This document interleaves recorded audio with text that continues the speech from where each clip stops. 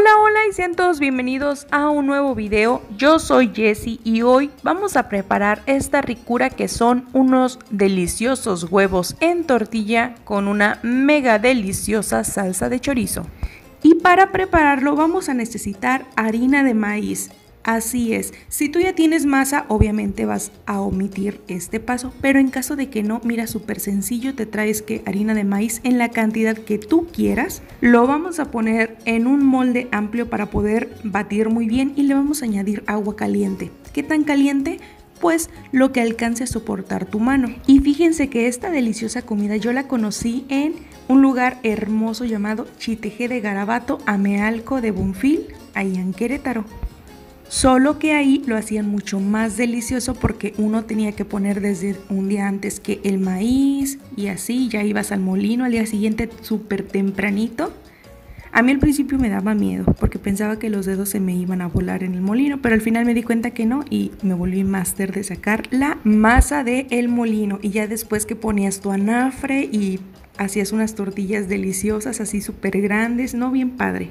Y regresando a lo otro, vas a dejar de echarle agua hasta que la masa ya esté suave. No tiene que estar aguadita, solo suavecita, justo como se muestra aquí. Ya solo nos prevenimos con la masa de maíz y también unos huevos. Aquí nada más es que calcules la cantidad que tú y tu familia van a consumir.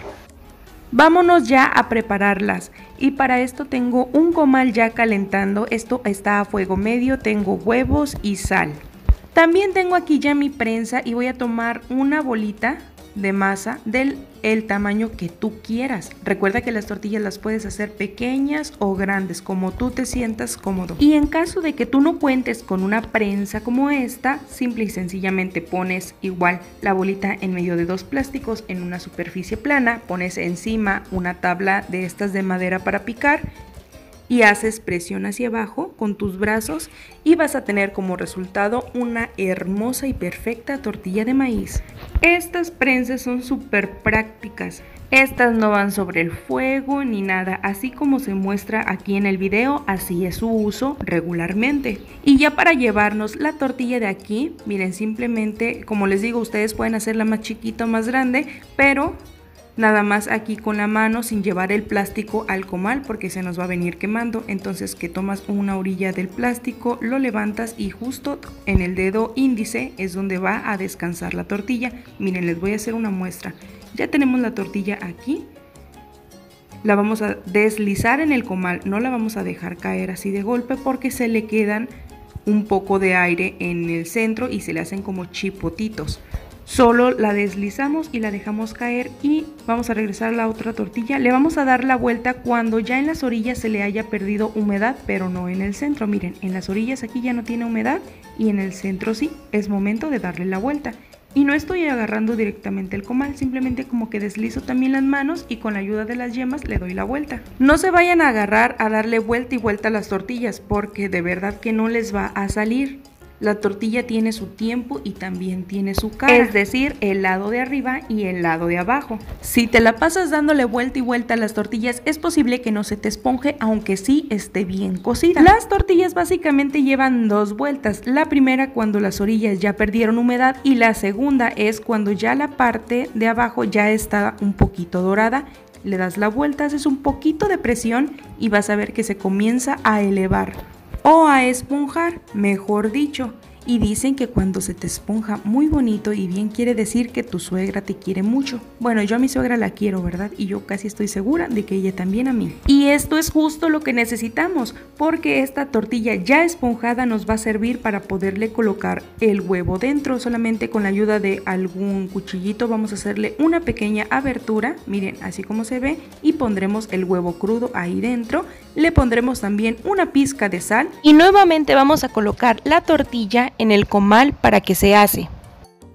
Ya de aquí el tiempo es lo que tú consideres para que el huevo esté listo y la cantidad también es la que tu familia y tú se vayan a comer. Y te muestro una ya terminada, miren, así es como luce y sabe súper deliciosa así solita. Yo lo voy a acompañar con una deliciosa salsa. Ya puse a cocinar chile y tomate. Aquí aparte en una sartén pondré un poco de chorizo ranchero. Ustedes pueden ponerle un poquito de aceite en caso de que su chorizo lo requiera, pero hay chorizos que ya no necesitan ponerle más grasa. Eso sí, no hay que dejar de mezclar en ningún momento porque el chorizo es súper delicado y se nos puede quemar. También le añadí un poco de cebolla. Aquí es en la cantidad que tú quieras pero le va a aportar un sabor mega delicioso. Ya nada más continuamos mezclando para que también la cebolla sea citrone y ya una vez que ya molí el chile y el tomate, se lo voy a, añadir aquí. En dado caso de que tú tengas una salsita que en el refri la puedes super reciclar y te va a quedar igual o más delicioso. Obviamente tú puedes acompañarlo con una salsa normal, así que hayas hecho en el molcajete o en la licuadora, pero esta salsa de chorizo está súper buena, súper buena y picosita. Ya nada más aquí dejamos hervir un minuto más aproximadamente, un minuto y medio, apagamos y retiramos del fuego.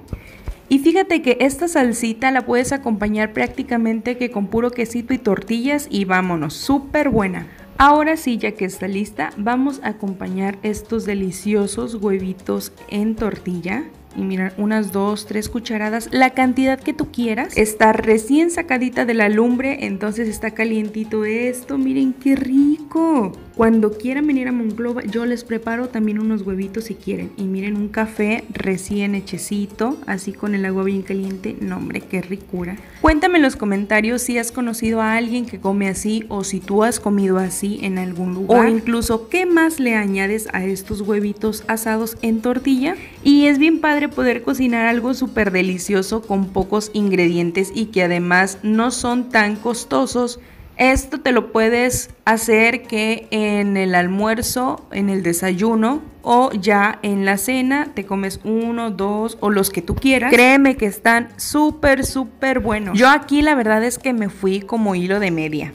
Me agarré con mi come y que a tomar cafecito súper calientito, así bien rico. Y amigos, realmente espero que esta receta les sirva, que lo saque de un apuro y que si solamente tienes algunos ingredientes en tu alacena, sepas resolver algo para preparar una deliciosa comida.